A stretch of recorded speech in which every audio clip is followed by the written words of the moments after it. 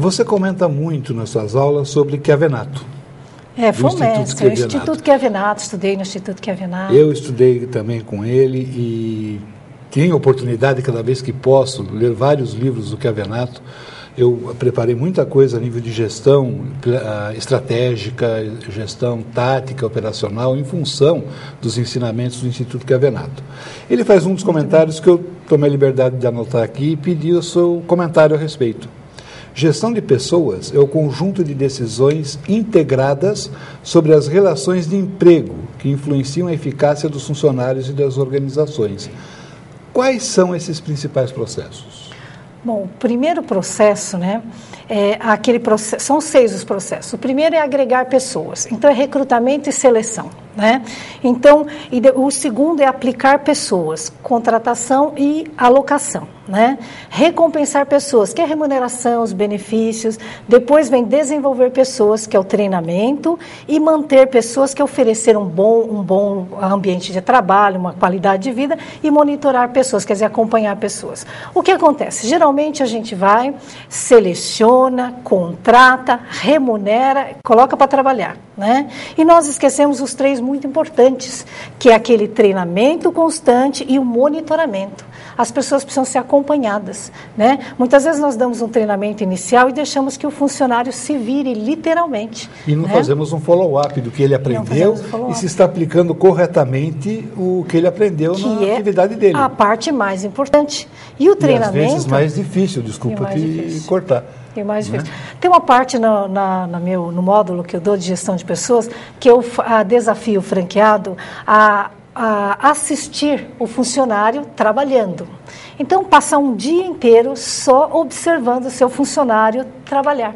Né? E ali, só na observação, ele vai conseguir eh, detectar muitos problemas de treinamento, de falta de treinamento. Agora, treinamento a gente sabe que é um processo constante, isso não pode parar.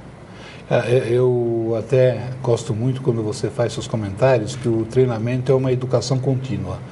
Ele não para nunca, não tem final. A gente sempre encontra uma, alguma coisa que deve ser complementada num treinamento seguinte. E quando fazemos dessa forma, quando o empresário tem essa visão, ele costuma dar o treinamento correto ele não dá o treinamento básico, ele vai simplesmente, ele vai realmente dar o treinamento de aperfeiçoamento. E aperfeiçoando o funcionário, ele está melhorando o rendimento do funcionário no seu, no seu trabalho, certo? E, consequentemente, nos resultados da empresa, é lógico. É, o treinamento contínuo significa sanar as falhas à medida que elas vão acontecendo. Exatamente. É? Resumindo.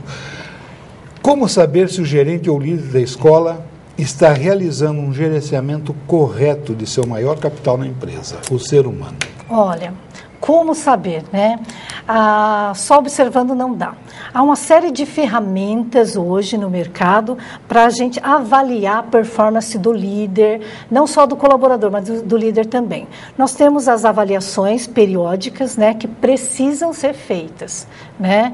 É, senão não, não tem como você manter um contato com o seu funcionário sem essas avaliações periódicas, né? Tem um livro muito interessante da Marlene Maria Matias Siqueira que é Medidas do Comportamento Organizacional, que eu sempre recomendo. Lá tem um conjunto de questionários que pode ser feito em todos os níveis da empresa, desde o do funcionário, da limpeza, até o seu gerente, o seu gestor geral, né, para saber como anda o clima organizacional. É preciso conhecer a sua empresa para poder avaliar os comportamentos individuais.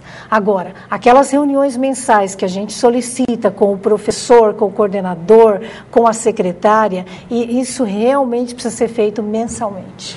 Você fazendo esse comentário dessas avaliações, uh, me surgiu uma pergunta agora.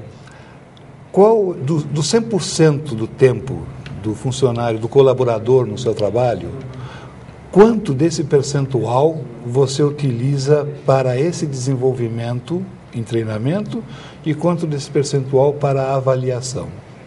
Nossa, essa pergunta é muito específica. O que eu faço? Olha, nós fazemos treinamentos semanais. Né? Nós fazemos treinamentos semanais é, dentro de cada equipe.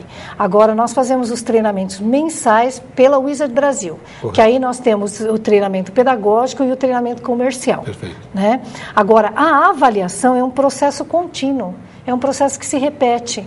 Então, na segunda-feira tem a avaliação da, de performance, né? Na, na sexta-feira nós temos uma avaliação do, do resultado da semana. Então, há muito que se que realmente é, avaliar no, no, dia a dia do funcionário. Correto. É, não existem normas específicas para que você tenha que parar o funcionário para ficar fazendo essas avaliações. O que você sim deve fazer é manter a avaliação do, das metas que foram traçadas, dos resultados obtidos, como eles estão sendo obtidos, fatalmente você vai encontrar fraquezas que necessitem ser melhoradas e fatalmente você vai poder verificar de que melhor maneira o seu colaborador está desempenhando determinada função. Muitas vezes ele criou alguma coisa nova que vai auxiliar, inclusive, nos procedimentos da própria escola, desde que seja positivo. Desde que seja positivo. Hum. Agora, essa avaliação não precisa ser tão assim formal, sabe, por cima. Ah, nós tivemos recentemente uma campanha de Páscoa. Então, fez-se um projeto, envolveu-se as pessoas e cada cada um tinha o seu papel dentro desta campanha. Aí, ao final da campanha, mediu-se o resultado e se fez uma análise do desempenho de cada pessoa. Quem, quem se saiu muito bem divulgando a campanha, quem se envolveu, quem ficou nos bastidores. Então, é possível você medir o grau de comprometimento de cada pessoa em apenas uma campanha, um evento isolado.